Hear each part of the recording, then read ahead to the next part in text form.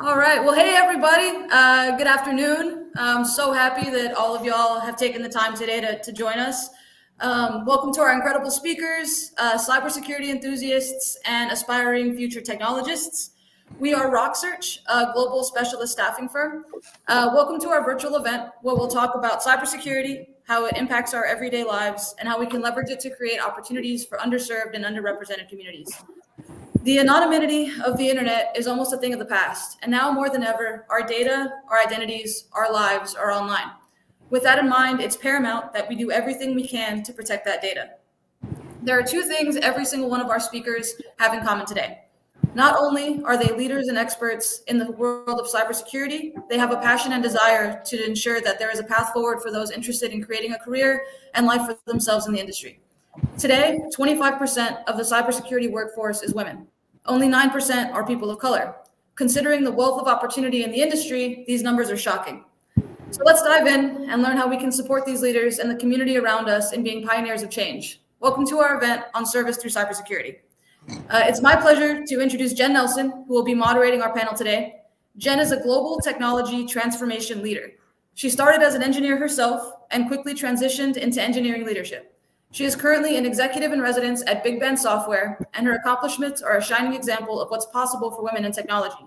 She does everything she can to give back to her community and serves as co chair of 50 50 Women on Boards, an organization dedicated to providing collaboration, support, and upskilling for ambitious women looking to take on more senior leadership roles in their industries and organizations. Uh, Jen, we are so excited to have you, so I will go ahead and pass it over to you to moderate the panel.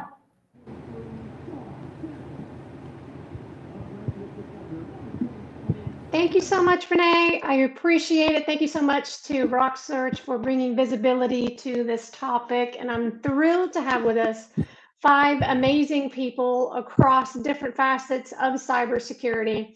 Um, depending on your orientation of the video, we first have Tim Amerson, who is the Deputy CISO for the Social Security Administration. So he has touched everybody on this panel and probably everybody joining one way or another.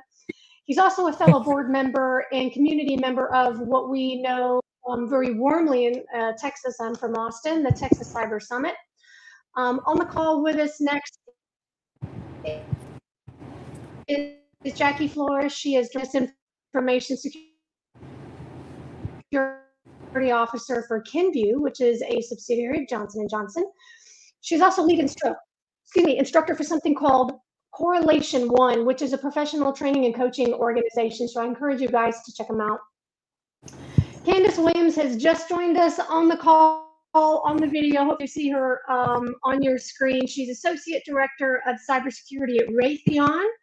And she also leads a company in a community called Cyber Ally, Cyber Ally, which I love the play on the name there and that assists people with cybersecurity career planning. So if you're not yet in the field and you're thinking about getting into the profession and one of the multiple facets, um, is definitely the person to connect with.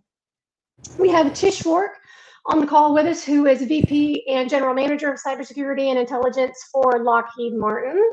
Um, she hires hundreds of specialists, um, many with top secret security clearance, especially veterans who commonly have top secret cyber uh, security clearance. So if you have a TSS, um, definitely check out Tish.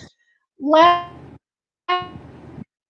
but not least, I can only introduce her as Cecile. Cecile is a real life hacker. Um, she is on a team called X Force Red uh, at IBM, and they do nothing but penetration uh, penetration testing. Um, but Cecile has graciously carved out time from her calendar today to join us on the panelist. So thank you so much to everybody joining us, ladies and gentlemen. I first want to acknowledge that when you hear um, the word cybersecurity, it encompasses so much, and there are so many facets to a career in cybersecurity. It doesn't have just um, one one niche. There are so many aspects to this career that even if you've got tangential skills and you want to get into cybersecurity, um, I think the panelists in the discussion today will show you just how vast and varied it is. So you're going to be able to find something that really leverages your skills. So keep your ears open, keep your hearts and minds open. And if you think you've got some good skill that you can contribute to get into this field, we highly encourage it. Um, and these are some amazing people that you can reach out to to connect with to, to get into this field. So with that in mind, um, Jackie, I want to start out with you. How did you find your passion for cybersecurity? What was it that made you think, oh, that looks like a good career? I'll, I'll, I'll jump into some of that. Great question. So I always knew and had a passion for technology growing up. Um, loved computers, just loved, you know, I loved playing games on computers and all of that. So um, that was always a big part of my life. And I knew that for my career, I wanted to end up somewhere in technology. Uh, um, I ended up going to the University of Texas at Austin. So uh, I'm from, from Texas. So um, I ended up studying management information systems there and, you know, combining both business and IT because I knew that I wanted to work in tech, but I wanted to, you know, have you know job security and stability. I came from a very very troubled and rough childhood so that was very very important to me. Um, when i graduated i ended up working at pwc as an external it auditor. So that's really how i started getting my foundational knowledge of it databases operating systems right how it all works together um, and at that point security and, and cybersecurity started um, kind of the, the target, the big target breach had happened, right? So security started being in the news, people were aware of it. From an external audit perspective, we were then required to start asking our clients, okay, what are you doing for cybersecurity? So that's really where I got introduced to security when I was an IT auditor and I was really interested. I had a knack for it and I ended up transferring into um, our consulting group, uh, our cybersecurity consulting group, when I was at Ernst and Young at the time.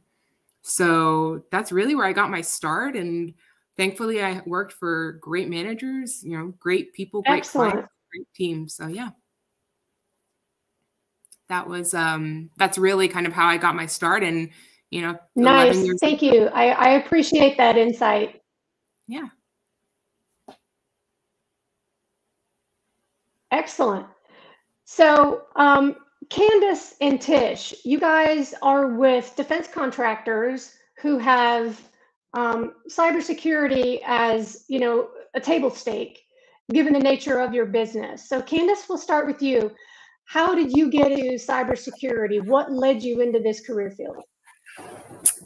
So similar to Jackie, I did always have like a affinity for tech, but I joined the military. I was in the Air Force for six years and started out um, help desk, small computer support, and then I ended up in information assurance, which was the old name for cybersecurity before it became marketed, right, to say cybersecurity. So um, when I left the military after six years, I transitioned to Raytheon Missile Systems in Tucson.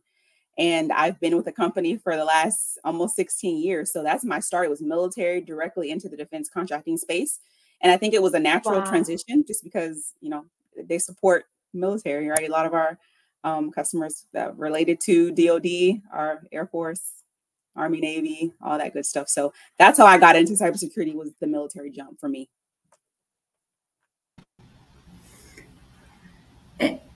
And I'm going to pick up here, Jennifer. And that's actually a very common career path, and how many folks in cybersecurity end up where they are. Yeah. And then Tish, I'd like to hear your side as well so the same thing, you know, similar to Jackie and Candace, you know, I loved math and science in school, you know, got that engineering degree.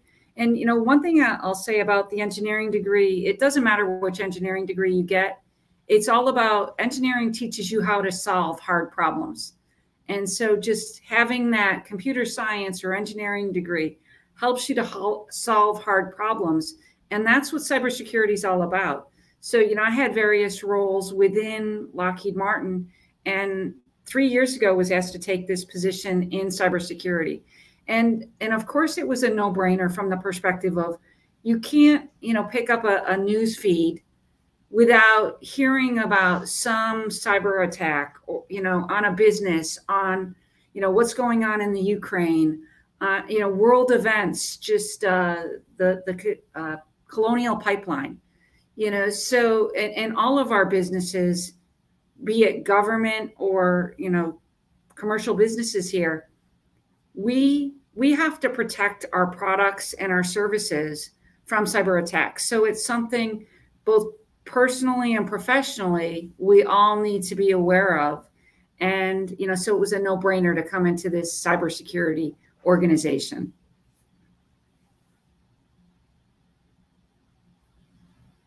So with with all three of you you acknowledge that there was a natural transition or it felt like a good fit based on the passion that you had become um, that you had begun to develop in prior roles. Um, so cecile i want to ask you given your role as a penetration tester aka hacker can you talk to us about your journey specifically and some of the challenges that you've faced as you've progressed in that specific role which when when you say cybersecurity that's what most people think of is is um i guess they're called white hat hackers or crackers i'm not even sure of the proper term but it's a very unique niche but that's what people think of most often when they think of cybersecurity so what was your journey like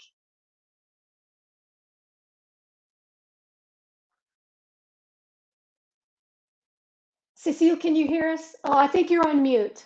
Yes, I just unmuted myself. Can you hear me? There you are. Yes, sorry. Um, my journey uh, is kind of crazy yes. because my journey wasn't really that clear for me. Uh, I've never, I was really not into uh, technology at all. Um, I was born and raised in Cameroon, West Africa, moved to the US when I was about 12 years old. Um, the, the neighborhood that we moved in was very bad. So you could only see two types of people in my neighborhood, right? The one that are breaking the law and the ones that are making the law. So it was very natural for me to just transition into a, a place of trying to be in, in criminal justice. So I went to school, got my degree in criminal justice, and and that was my path. I wanted to be a lawyer because you know that's that's all i know. So many people always ask me why, why criminal justice? That was really my that was really what made my decision was the the environment that i grew up in. But eventually after after college i decided to to not directly go to law school and i started like uh, working. So i worked for juvenile court for a little bit. And then after that i started venturing into like entrepreneur ventures online and different things like that. And then one day i got hacked. And it was a ransom it was a ransom attack. They sent it into my computer. Of course i'm sure i clicked something you know. Back then i, I didn't know what was going on but I, i'm sure they sent a link somewhere and i clicked and so that kind of just really made me realize that how, how can a complete stranger really invade me in that way? So that curiosity of why I became a victim in this particular um, attack really brought a lot of interesting um, aspect uh, to to my life. So I started looking into this. Was really my very first time uh, really even thinking how the computer work, system, the network, how, what happened, how did it, how, uh, what happened, and how did it did uh, how how did it go? So eventually, what that did is it kind of brought up a curiosity in my in, inside of me. And one thing that I know I always was passionate about was you know protecting um, protecting the good guy from the bad guy, right? I always had that in me. So naturally, the hacking aspect of cybersecurity just very came naturally. So through the process of doing all that, I started kind of do taking different steps and looking around. The biggest yeah. challenge I really had was once I, I, I was interested in getting into the field, I started looking around. I really didn't see nobody looking like me, especially in the hacking industry, right? So that that held me back over and over and over again until I went to a conference and I met a complete stranger and we were just talking and I told him what I've learned so far and everything. And then he was like, You could do this, you're really smart. It took somebody else to put it in me. something that I had this whole time. And then from that on, I just kind of went back to school and um, studied cy- cybersecurity. Wow. I specialized in uh, in in hacking in the in that area, and then here today I am, and I'm always shocked at where I'm standing at this point from where I started five years ago. Wow. Yes.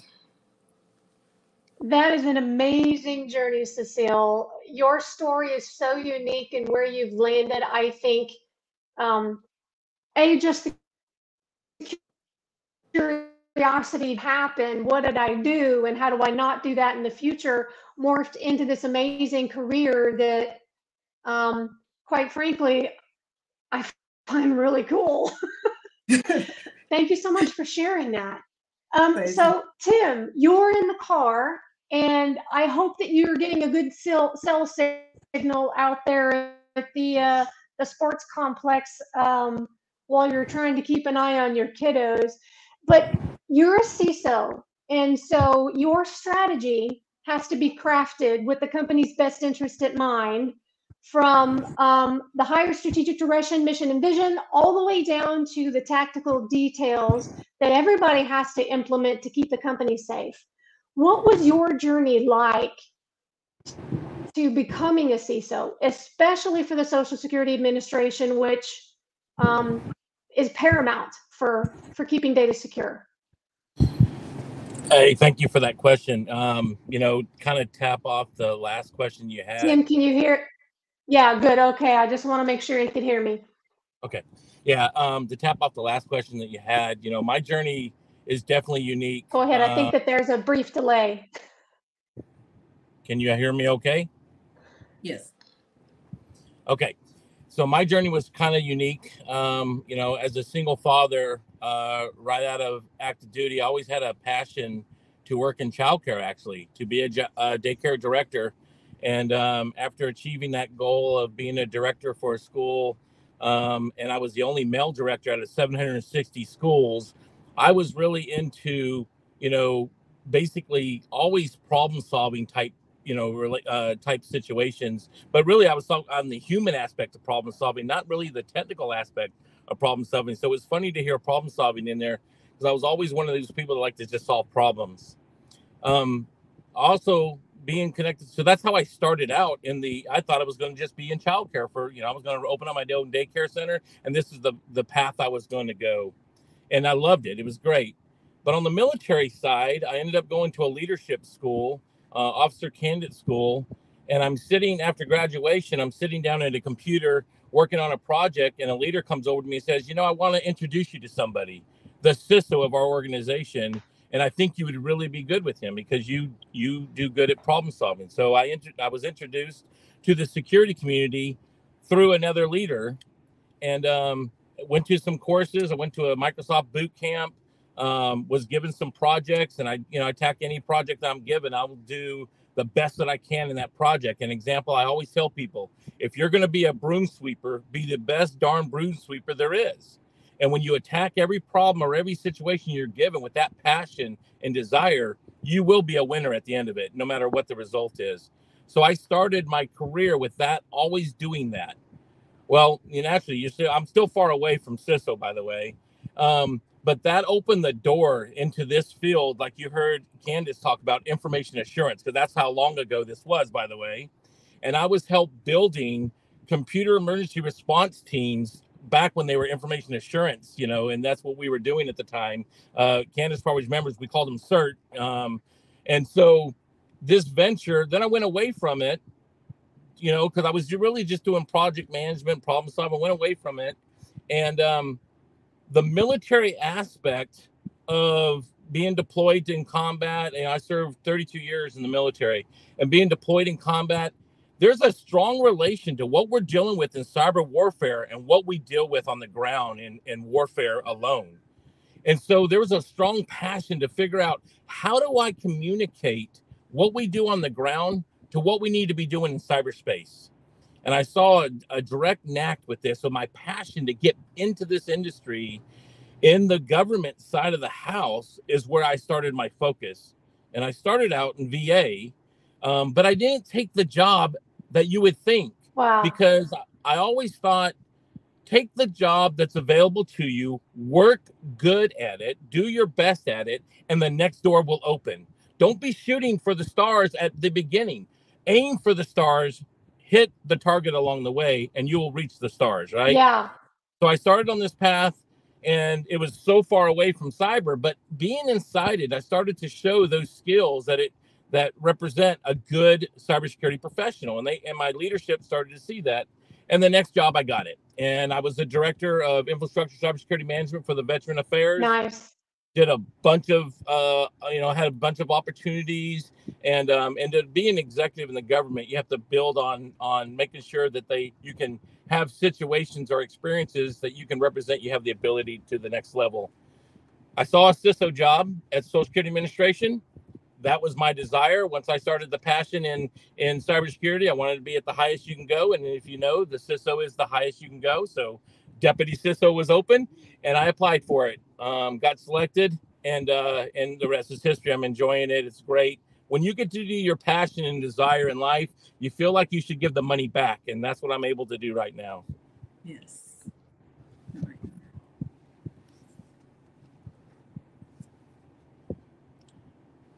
I don't know if we lost Jen. I think we lost Jen for a minute, but while we wait for her to come back, I love love what you said there, Tim, about you know, don't aim for that perfect job in the beginning, right? Aim aim for the stars, shoot for the stars, but understand that it's a path, it's a journey. And a lot of the times, and you know, you hear about the cybersecurity, the skills gap, the knowledge gap, the talent gap, right? And there's so many people that want to get into the industry, but they want to start out and be like, oh, I want to be a pen tester, right? Or I want to be an ethical hacker. And I'm like, well, that's great, but it's a journey, right? You there are certain tasks and jobs and objectives that you have to learn and understand before you get there. And I I don't I don't think a lot of the entry level talent understand or appreciate that it is a journey. Definitely so. Um, you know, some of those journeys away while we try to get Jen back on you know, I was a blue team, I was a red team leader, a blue team leader, I was assessor. I did that on the military side, you know, at the ground level.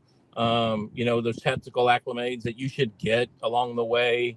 But uh, you know, still it is is clearly I, I, see it all the time. We were uh, Cecily was at our conference in Texas Cyber Summit just this last year, and there was an Air Force um, enlisted Air Force uh, that she had got out of the Air Force, and she was just banging her head off of getting denied on all these jobs because she felt because of her top secret clearance and the exposure she had in the Air Force that she was better than the way they were than the than the jobs. I was like, you got to stop that. You're letting your you're denying yourself of the front door. It's looking you in the face and you're getting in your own way. Don't every job you look at if you know you need to look at it as an opportunity and you're missing it. And we we just we broke down together because she realized she really was getting her own way, and uh and so I'm really hoping I I want to get a follow up. Uh, to see if she actually got that next job because she stopped getting out of her own way and talking herself out of well you know i have these qualifications and these and this experience that this is the only thing i should have and it's not about settling i want to make sure that's clear it's about finding the pathway to those stars and making sure you don't get in your own way along the way Sorry, jan We were putting some filler in there while you were getting. Sorry, guys. I dropped. Don't know what happened. Thank you. Thank you. I appreciate that. So it sounds like we have a couple of different pathways into cybersecurity roles. Um, one being the military, another being some college courses, and not necessarily a degree in computer science, but at least getting the exposure um, to cybersecurity roles through college. But I want to ask there it feels like there should be a third option where grassroots or smaller community organizations could be that bridge so that those who don't have access to college or someone who doesn't enlist in the military still gets that exposure. So, if so, what is that role? So, um, Candace, what are your thoughts on grassroots organizations? Do they have a role? And if so, what would that look like? What should that look like? I would definitely say yes. um, oftentimes, organizations like Cyber Ally, we do partner with um, certification bodies to offer like programs to help someone coming from zero starting their career to kind of building up those skills like we mentioned you know in that little break but there's absolutely a way and i think being a grassroots organization in the community you kind of have a pulse on the the people and they see you as human right? I'm not this big organization i'm candace right? I'm hosting events at the embark or i'm hosting events at the candle pour right? And i'm, I'm creating a space for people to kind of um, see that it's possible and then have the opportunities and, and the the steps to get them um, into into this space. I think it's absolutely possible, and not just Cyber Ally, but there are several organizations that actually have um, tech meetups, right? Um, uh, mentorship uh, calls and meetings and Excellent. coaching calls and meetings. But to me, that's where the impact is when you have those smaller organizations that can touch and see and know the the pieces in the community that kind of need to be infused or need to have representation to kind of bring a different um, um, aspect or diverse element, whatever that may be, to, to cybersecurity. So for sure, grassroots organizations play a part, a big part uh, in my mind, uh, when it comes to exposing people to, to this field. Excellent. Um, great news for those who don't have access to college or formal courses that would give them those skills. So, Tish, do you have experience with grassroots organizations that can either um, promote awareness or bring the skills to the table for for those that are underserved? Sure. You know, one thing that um, you know we always talk about the bad parts about COVID, and there's actually some good things that happened as a result of COVID. And one of the things that schools found how to do was to do remote learning. And, and granted, it may not be as effective as in person learning, but everybody learns differently. We found a way to do remote learning we found a way to pass out computers to all the students so that the students that didn't have computers could do kind of this um, you know zoom or teams or you know streaming from the from the classroom. So you know I, I look at that as kind of a grassroots effort that was something we didn't even know we could do as and it's only because of covid that we found a way to do it and so, how do we continue to do that? How do we continue to get underrepresented communities access to those computers? Continue to ensure that the community centers for those underrepresented communities have those resources and they have the volunteers to enlighten the, the, the children that are in those communities to that hey technology the examples that, that we all shared from our own personal life of why we got into into this field is is just a great example of us each doing it a little differently but having access to those skills maybe not initially but at some point um, and having access to the people who influenced us into those you know so being able to influence those underrepresented students is really important. Having role models from our organizations to share our experiences so that they realize they can they can get into the cybersecurity field. That you know that that's a great answer because a lot of times exposure to the art of the possible is nine tenths of the battle. Um, if somebody is unaware of what their potential path could be, um, the exposure itself is a lot of times the awakening or the enlightenment. So, so yes. having having just talked about, yeah, how do we ensure that cybersecurity education and training programs become more accessible and are inclusive? So, um, Tim, the uh, Texas Cybersecurity Summit is one. Tell me about about your thoughts because you and I have have sat next to each other at dinner before to to talk about this topic. Um, yeah. Tell me your thoughts about how the exposure and the education and training can perpetuate and then grow legs of its own. Yeah, you know this is my passion, so thank you. so um, I have been this is what I do on my uh, volunteer work time. This is what I love to do that keeps me grounded to reality because you're exactly correct. If we don't fix the very entry of understanding in our school systems, we will be continuing to tackle a problem backwards. We have to get in front of this. And to me, the best way to get in front of this, evangelize this, is to get it in your school systems. Make this a core requirement in our school systems. Cybersecurity is a team sport.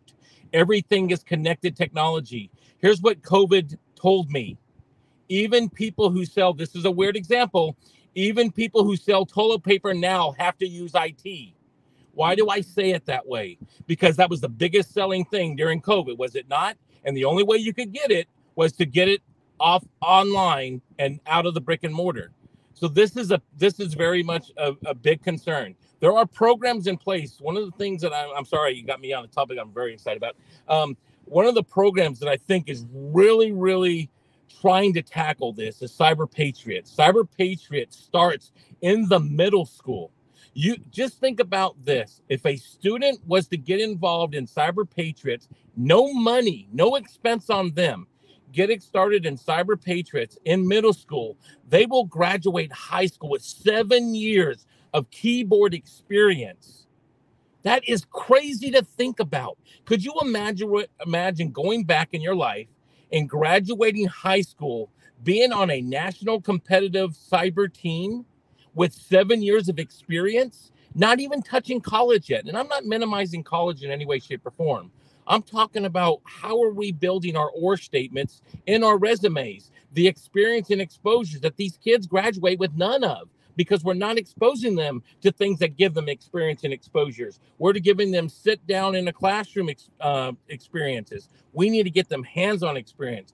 CyberPatriot is one of those programs that does a great job at that. I challenge every one of you to be a coach and a mentor in this program because it it has gone. Uh, we had seven, one year we had 7,600 teams nationwide, and you multiply that out times three to five students on every team. Wow, the numbers are crazy. If you get a chance, go to um, uscyberpatriots.org website and actually look, download their one of their annual reports and look at the statistics the statistics are mind boggling on how this program alone, and there's others like them, but this is the one I'm going to going to talk about right now, um, is making a difference. It's got to start earlier on. It's got to plant that seed. So when that high school student graduates, they're thinking, hey, I want to look at cybersecurity, as opposed to someone tapping them on the shoulder, just sitting in front of a computer, saying, hey, you ever thought about going to do this? Man, I wish I'd have saw this in high school or in middle school and had that trajectory because I lost 32 years of my life doing something or 20 years of my life doing something that I wish I would have done right out of the from the get-go. That's how great this I think this industry is and, and, and this profession. So I hope that answers your question because it and if you want to talk more, I would love to, but I don't want to be selfish. Well, well, you gave this great, beautiful answer. I struggled with audio problems, so I'll just have to watch the replay later when we're when we wrap. Um, but uh, Cecile, I actually wanted to ask you the same question, simply because your role is so unique and so specific, but it takes a certain skill set.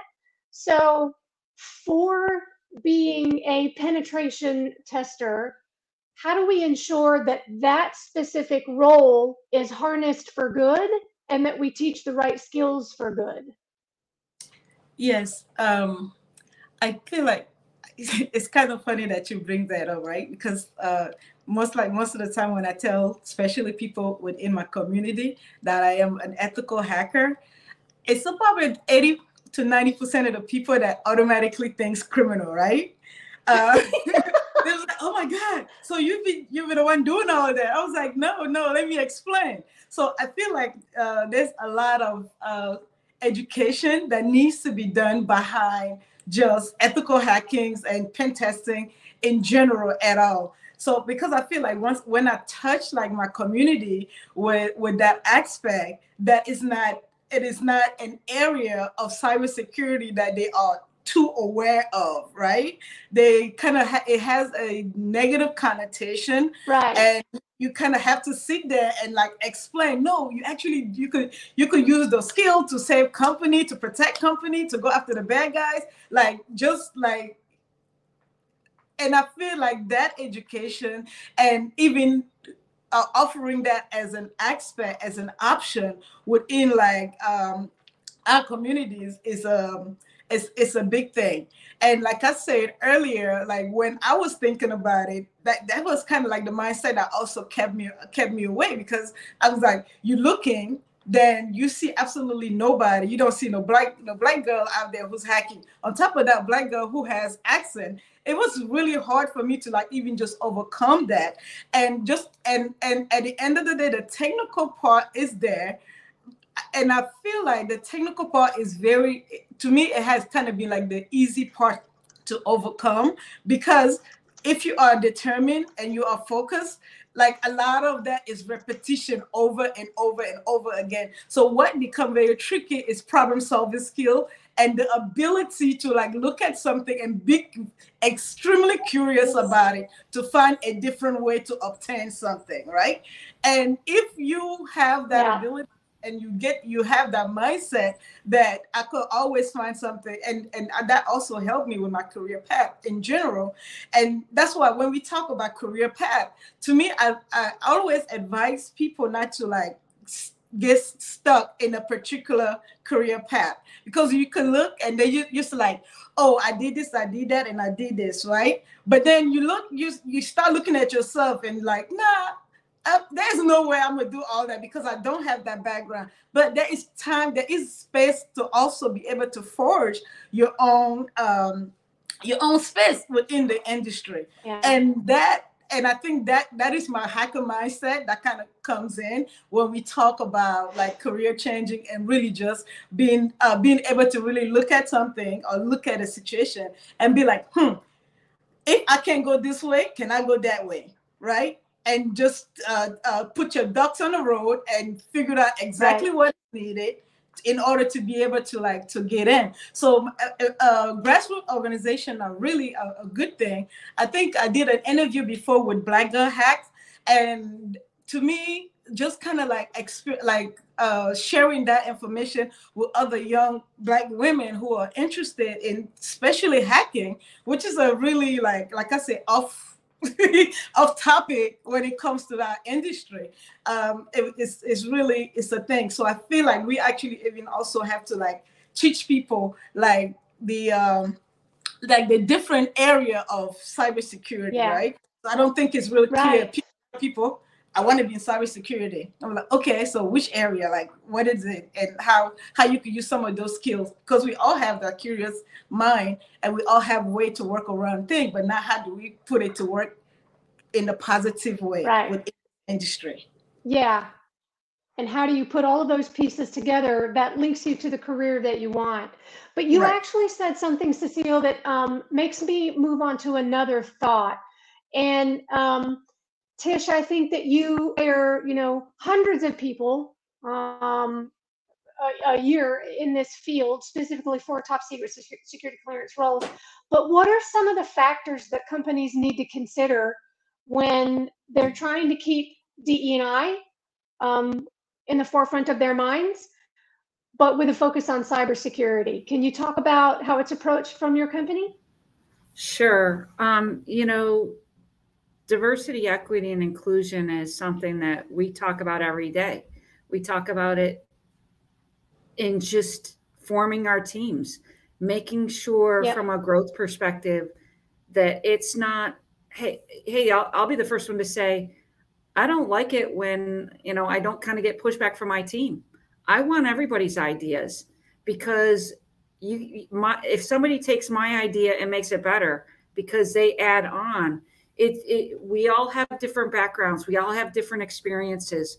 We've all failed on something. We've all been successful at something. Um, when you share those experiences and, and have that diversity of thought because you have a diver, diverse workforce you've got that inclusive diverse workforce where everybody's input matters. Um, you get a better product, you get a better solution, and you get it right the first time. So it's really important for all of our communities to have that diversity of thought through our people, through their experiences, through, you know, having a junior person, having an experienced person. You know, there's just as much learning today from the senior people to the junior people as there is there is the junior people actually sharing their experiences with technology and doing things quicker, faster, um, doing things remote, doing things with little direction, um, going at you know, my God, our, our our children would Google the answers to now that they've got Jet, Chat GPT to help them write their papers. Uh, you know, right. Uh, there's just more agile and flexible that I think you know some of our more experienced professionals are because we're stuck in our ways. So having that that diverse workforce, different experiences, and sharing those really gets our teams to the best solutions and the best answers. So we embrace that whole diversity, equity, and inclusion in all of our experiences. I like the way that you phrase diversity of thought simply means you get a better product because somebody else's ideas could cover a gap you don't see yourself or a blind spot that you might have yourself. Um, so that's a really good point. So, Candace, from Raytheon's perspective, what are some of the additional things that they consider when they're putting together um, their cybersecurity teams?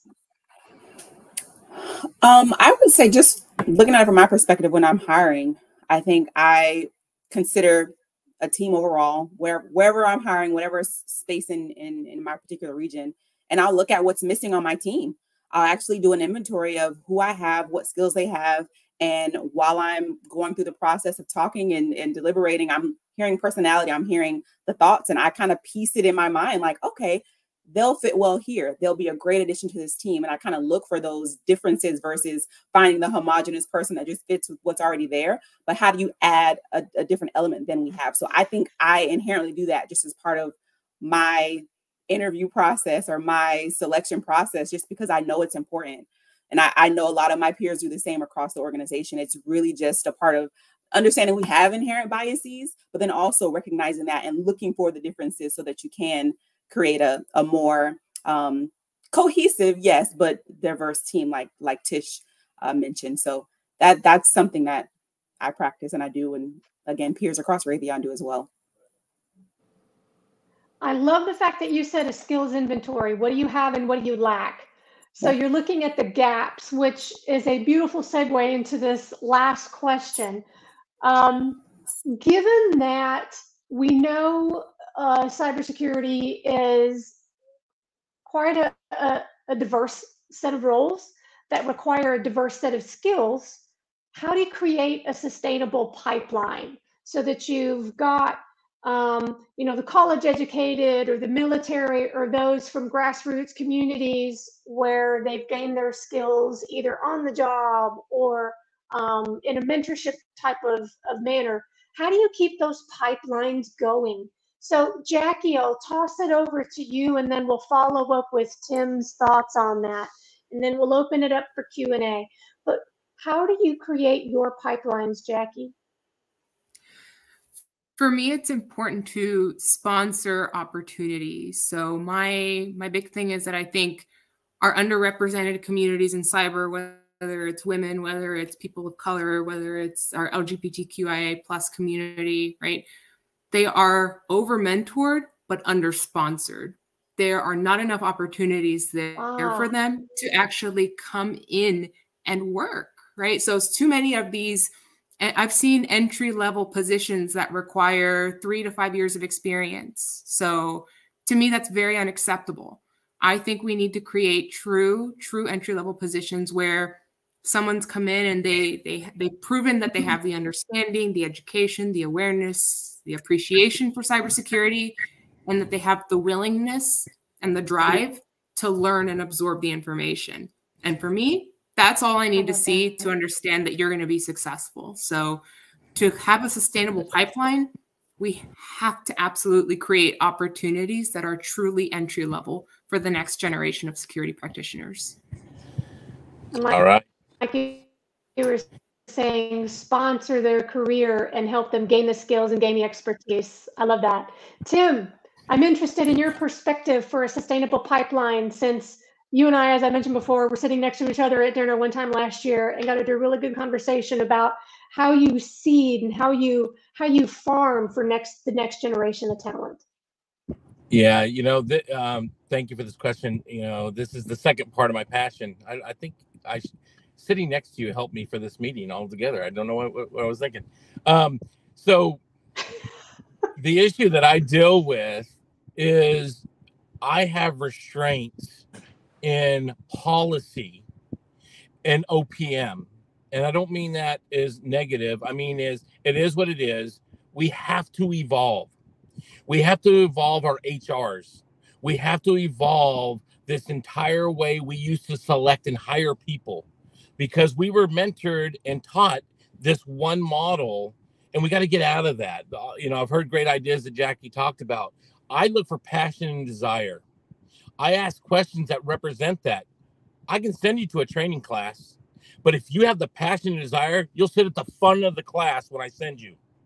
You will observe and obtain every piece of information because you want to. I can't just I can't train that. That's inherent to someone's desire to do the job. And and and guess what? HR is not looking at that. HR is looking, you got a degree? Check. You have a certification? Check. You have 5 years of experience? No, I don't see that. I don't even understand what you wrote in here. So I don't even know how to check for that. So we got to get out of that mentality. I will tell you that the president, uh, the presidential committees have come together and they have, have a, a workforce strategy that's trying to change it for government. We're trying to look at a skills based model on how we can hire. But Jackie's correct. If we don't provide a mentorship, a sponsorship type of model that can feed them in to break down that wall, we're not going to get them in the door. So what we do is we go around and we recruit. We go to colleges. We tell them how to get ready for that to even show yourself because we need to get you past the HR process so we can sit with you at the interview. And that's the, and in big government, that's the biggest hurdle that we deal with is how do we get you at the interview? Because we have an HR gauntlet that you have to go through to get to the interview. So she's 100% correct. So twofold. One is we have to change the way we hire. Even us, I guarantee you, we had to change the way we thought about this in our in our process, right? AI really has changed this if you think about it. If someone's hiring remotely, um, I mean, uh, interviewing remotely, so we have to change the way we hire. We got to look at the personal skills. We got to look at the soft skills. We look at the total person. That's what's critical, you know. And if we don't do that, we're never going to beat the diversity issue, because why? That's part of the total person. Yeah. That understanding of diversity and because you know one of the things I want to talk about that I think is critical that is is that speed to resolution happens with diversity. Think about that. Problem solving, all these puzzles of a problem solving piece together gets you to your solution faster because you're not seeing it from one lens. Doesn't mean that the one lens doesn't give you an answer. It's just probably not the best answer because it's one sided. So we have to change our HR. We got to be open minded the way we do our hiring processes. And we have to get uh, avenues that do sponsorships and do internships and do apprenticeships. Where did that go? Why did we forget about how important apprenticeships were?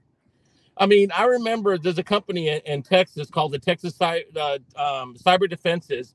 I got to sit at their inaugural first graduation back in the day where they had an apprenticeship program, took them from zero to hero. UT has a program like that. I'm not, you know, I'm not saying I'm I'm I'm advertising UT's program, but they have one. It's a boot camp. It's kind of the same concept. But the but that apprenticeship model, we do it with with plumbers, we do it with electricians. Yeah. Why are we not doing it in the yeah. cybersecurity community? Yeah, that, that's I like that. And something that you said resonated. I've heard um, a lot hire for culture, train for skills. Um, you do need to have skills in cybersecurity, but you're right. Entry level positions um, do require sponsors, so they're going to have entry level entry level skills. And so at that point, um, sponsor their career, provide a mentorship, be a sounding board, but help them gain those skills um, as you go, and then you'll you'll you know, if they've got that passion and that drive, um, you just wind them up and let them go, and they'll they'll help uh, you know grow their career along the way. So thank you so much for the panelists. I do want to pause for a moment to check to see if there are any questions from anybody in the field that is watching and um, how we can start pulling in some experts to start answering these. All right. Let's see. Um, we've got a question. What are the current emerging threats that you guys are starting to see in cybersecurity, and how are you addressing them? So that's a pretty broad pan, uh, question, but for the panel, let's throw it out there and, and see if anybody would like to answer that one. I can start. Current emerging threats and how you're addressing them. And I'll I'll cap off after you, Trish. Okay.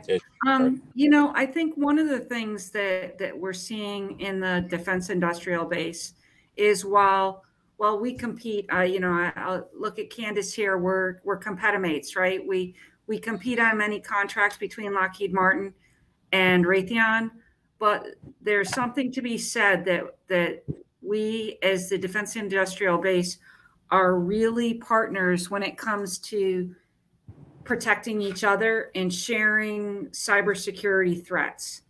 You know, there's a national board that many of our companies sit on to actually share any any threats and and and it comes back to us as well.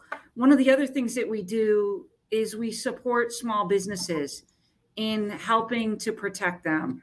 So, you know, many small businesses are, are using you know best buy type services to, to do their business and and you know the the industry is only as safe as the weakest link so if one of our suppliers is is not protected you know then my, our products are at risk so it's really important for us to share amongst industry as well as to protect those small businesses that are key partners to us in providing products to our systems that we that we deliver to our customers. So those are some of the things that, that we're doing. Pass it over to Tim. You know, um, spot on. You know, this area, if you watch what's happened since, uh, you know, you, you had SolarWinds, you had Log4j, you had the Colonial Pipeline. This has shake, shooken up our government in a, in a whole new way of forcing our federal agencies to respond with the shall statements as opposed to should. And those who are not tracking, a shall means you must do versus a should if you wanna. Um, so, and the reason why I say these are open source informations that we need to be following. If I'm a if I'm a software company and I'm selling software, I should be monitoring um, the uh, memorandum coming from OMB M2118, where it tells them about secure software, or any of the other memorandums about how they need to be looking at secure software. So I wouldn't focus necessarily on what the threat is. I'd be watching why is big government talking, hey, it's important about zero trust. Why is zero trust respond? Why is zero trust important? Do I need to know the secret in order mm-hmm. to protect against zero trust?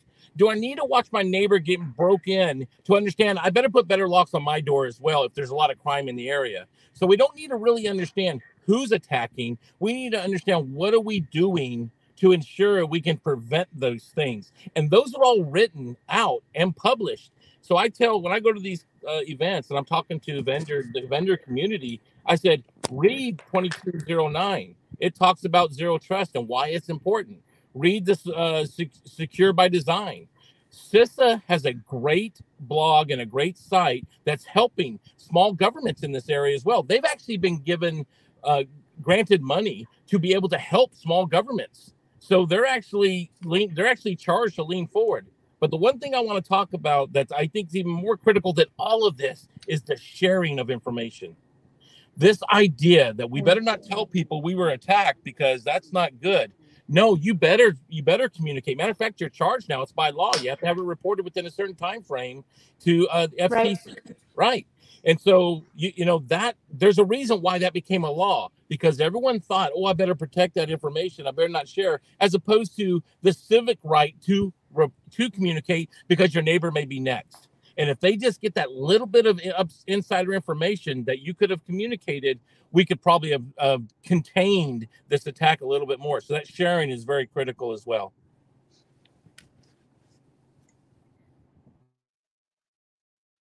Yeah, that's a good one, Tim. Sharing of information because um, a rising tide lifts all ships, so to speak. So the more everybody knows about how an attack occurred, um, they can then, you know, take steps to counter it. We've got lots of questions in the chat about how somebody were to get into the cybersecurity domain um, if they're either already in um, uh, a career, um, if they're not going to go through the military, if they don't have a degree that's specific to computer science or cybersecurity, how do they get in?